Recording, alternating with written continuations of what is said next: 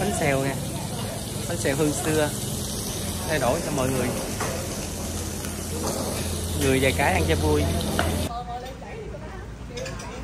Đây hôm nay gia đình Quỳnh Trang ủng hộ Khánh Bình nha chúc, gia đình ngon miệng.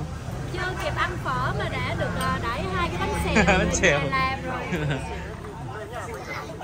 Bữa nãy à, bữa nay biết Quỳnh Trang là anh ra đóng xèo trước với mẹ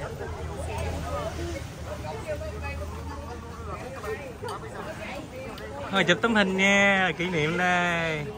Mời, một, hai, ba, ba, ok. à,